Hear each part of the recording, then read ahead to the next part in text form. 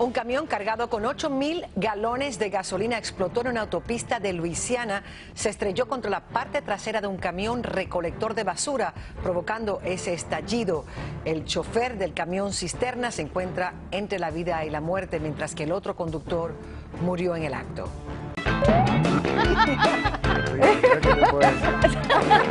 Yo nunca le he llevado flores a una mujer.